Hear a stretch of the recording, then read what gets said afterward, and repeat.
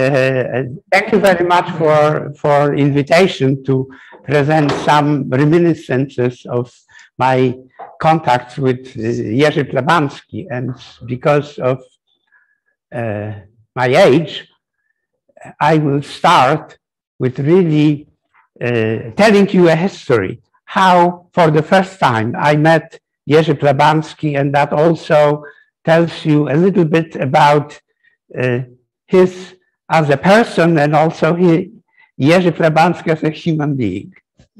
You see, uh, uh, imagine uh, how you do it. Którą stronę?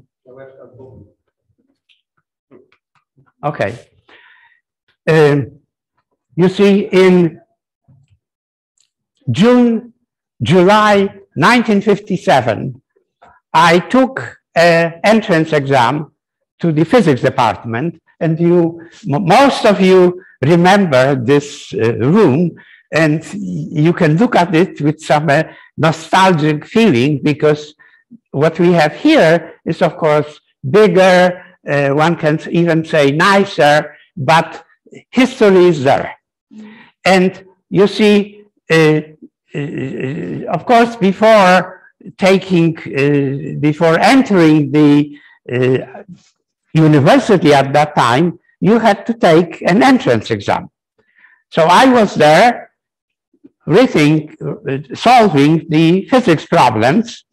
And at a certain moment, this door here opened and uh, uh, young, relatively young person with an oversized jacket uh, with tweed, uh, dark hair, with a cigar uh, in his in his mouth, walking around, and he was just you know looking what what we how how we are solving the problems. He cir circled around once or maybe twice, and then I noticed that we, he, when he was coming down toward me, he slowed down and then he stopped and he said to me, when the exam will be over, please get in touch with me. and, and left. Okay. So after the exam, I asked the people who were supervising us who, who he was. And then they said, wow, that's a very important. He's, uh, first of all, vice dean of the physics and math department, very brilliant uh, theoretical physicist. So uh, after I, uh, well, we finished and then I was accepted, uh, fortunately, to this, to, to, the physics department. And then we, when we was started in October, uh, our classes, uh, I met again Plebanski and well, he asked me where I'm coming from, where I learned differential and integral uh, in, uh, integrals uh, because I was using in solutions some solving differential equations. And, and he said, well, you see, uh, let's wait two more years and then I will get in touch and, and we maybe can, can do something together. Uh, unfortunately, Plebanski a year later left. For uh, two years, he, he won a Rockefeller scholarship and he left. Uh, since 58 and 59, he spent in US, one year at the Princeton University and the other year at UCLA. But then when he returned and uh, he spotted me somewhere in the in the corridors on Hoża 69. We started to talk, and well, first of all, he uh, uh, let me show you a few pictures of Jerzy Plebanski. I unfortunately I was not able to find a picture of Plebanski from uh, say 56, 57. So this is an earlier picture of Jerzy Plebanski and uh, Leopold Infeld. this was a time when they started to uh, discuss this uh, book on motion and relativity. Yes. Uh, uh, here, uh, you see one of the things which attracted me when, when, when he entered the room when we were solving the exams was his ring. You see, he had a he had a really big, large uh, uh, golden ring. So, you know. And here is uh, Jerzy Plebanski in 1962, but uh, he haven't changed much since uh, uh 57. you see his very dark hair and, and, unfortunately, it's not a color picture, but you can guess that that he has a really nice uh, chocolate tan. You see, um, uh, uh, first, uh, when we met in 1960, uh, when Plebanski returned from United States, he told me that, well, maybe not once a week, but, but from time to time, he will give me some exercises. And the exercises was just uh, integrals from this very, especially for the older people, uh, collection of special integrals or sums. Uh, uh, great, uh, well, manual. Now we have Mathematica and internet, so nobody use, is using it anymore. But at that time, this was the main source of, of, of information about complicated integrals.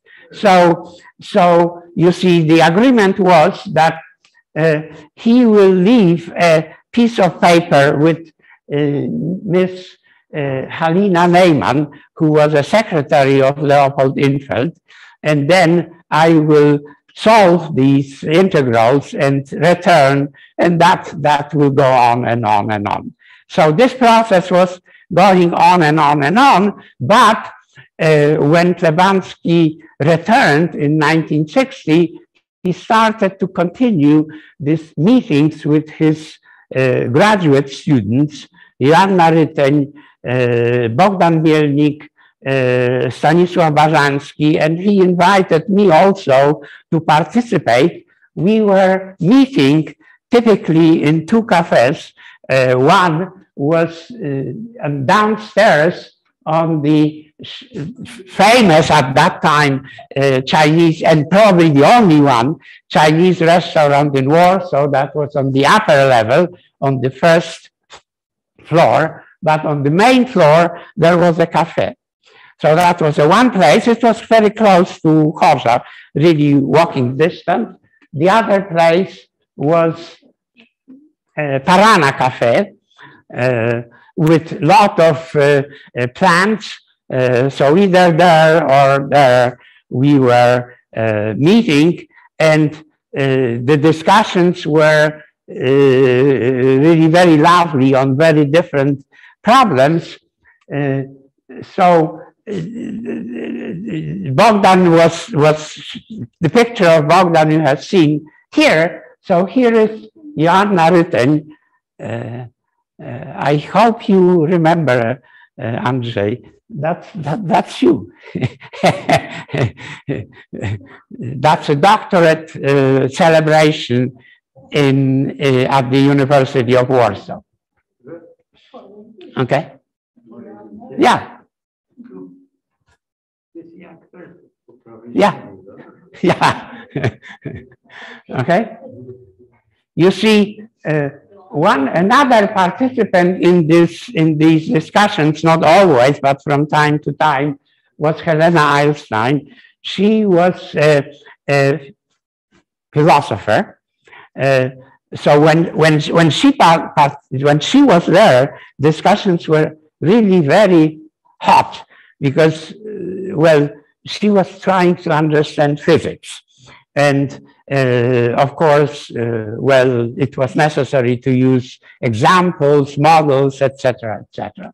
And you see, as a result of these discussions, from time to time, uh, uh, members of this of this group would write an article, kind of a review, published then in uh, Studia Filozoficzne or in a, a monthly or then later on weekly radar. Some of these uh, articles were then collected in this famous book, uh, which was published, which was published later. So now uh, that's Jerzy Plebanski uh, from uh, his, well, probably that was last, his last visit in Warsaw. Well, you see, the discussions coming to the science were connected with two basic topics. One was exact solutions of the Einstein field equations, and the other was a complex space-time. So let me start with telling you a little bit, a, a very brief introduction into the uh, complex space-time. Uh, actually, uh, as far as I am concerned, it all started with, the, with a paper by Andrzej Trautman on analytic solution of Lorentz invariant linear equations when, when uh, uh, Professor Trautman introduced a complex Lorentz transformation in Minkowski space, and then using this complex transformation on the Minkowski space, it was possible to find a, a complex Maxwell's equations. Uh, and of, of course, this same uh, procedure can be used to find corresponding solutions in the case of a linear, linearized gravity. You see the uh, uh,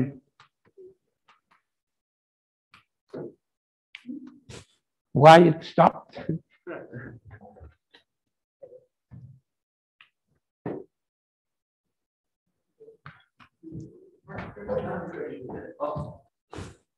Okay. You see, another uh, root of this uh, complex space-time was an observation first made by uh, Newman and his students that you can perform complex coordinate transformations on known solutions of the Einstein equations in order to generate a new solution. The first example was the so-called NUT space, where they have they have introduced, uh, as you can see here, a complex radial uh, coordinate with a new parameter rho, which is now called the NUT parameter. And this, uh, when you apply this transformation to the standard Schwarzschild metric, you generate also a, a, uh, metric which is uh, not quite spherically symmetric, but very similar. Uh, it's not quite asymptotically flat. Later on, Newman and his students generated this procedure, first of all, to find, a, well, derive a Kerr metric by this complex coordinate transformation where R is the standard radial coordinate and U is the null coordinate in the Schwarzschild metric. A is a Kerr parameter. And it can be done starting from the Schwarzschild metric to get the Kerr, but also, uh, but very quickly, Newman and his students, uh, starting with Reissner-Nordström metric, uh, derived what is now known Kerr-Newman metric, which contains uh, uh, rotating, rotating charged black hole. Well, as far as the exact solutions of the Einstein field equations, uh, at that time there were actually three different approaches. One was to use Newman-Penrose spinor formalism. Newman and Penrose in 1962 reformulated the standard Einstein field equations into the spinorial language. The equations are very complicated. There are many of these equations and all, practically all the coefficients there are complex. The other uh, uh, route was to uh, study properties of the null principal congruences. As we all know now, uh, at four-dimensional Riemannian space, at every point defines four null directions. Uh, this is the starting point of the uh, Petrov classification, of course, but once you fixed up such one uh, congruence and look at properties of these congruence, you can simplify the form of the metric. The other, the other uh, uh, method is just guessing, uh, and guessing, not just guessing from uh, without any restrictions, guessing introducing some symmetry properties. So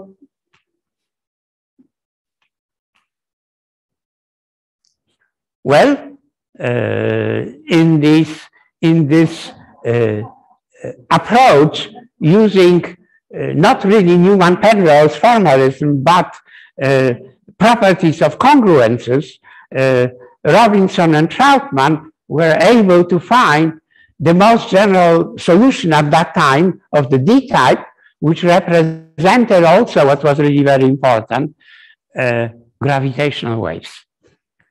So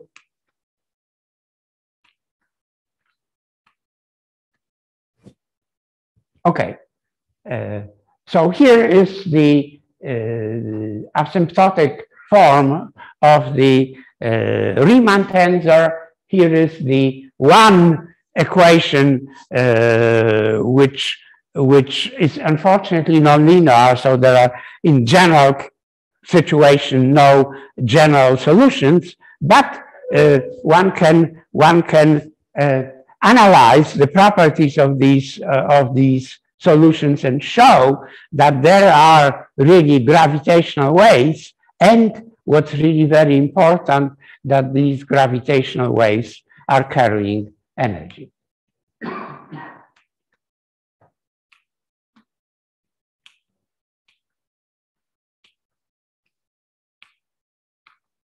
Well, in 1963, Roy Kerr, using the uh, tetrad formalism, was able to find a solution to the Einstein equations, which is now the very famous Kerr solution, which represents a rotating black hole in asymptotically flat space.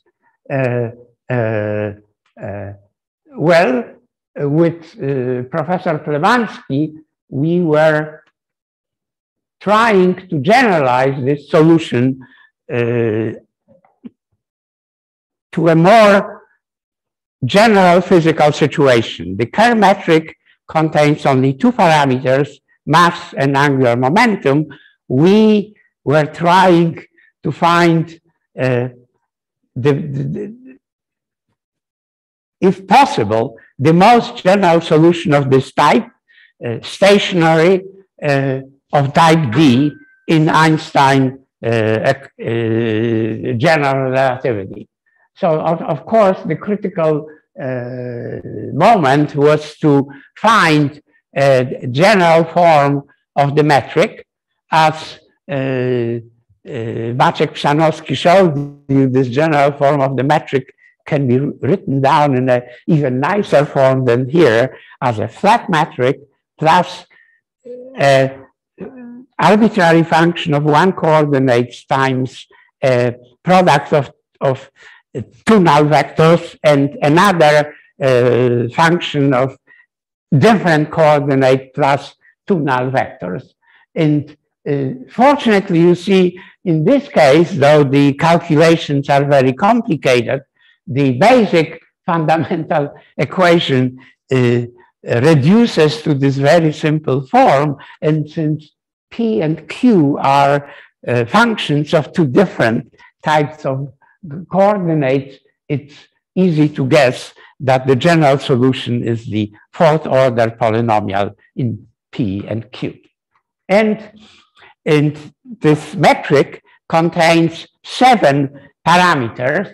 There is mass and NUT parameter, electric charge and magnetic charge, uh, rotation and acceleration and cosmological constant. Please look at this nice, uh, uh, how nicely these parameters form a complex system. M plus I N, uh, A plus I B, E plus I uh, G.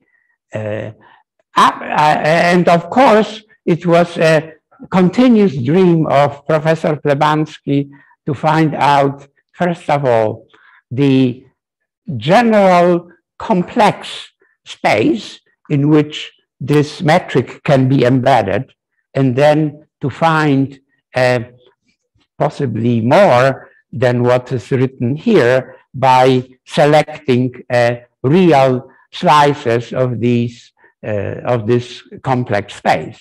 Unfortunately, this problem has not been solved until today, so it's open. Thank you very much for your attention.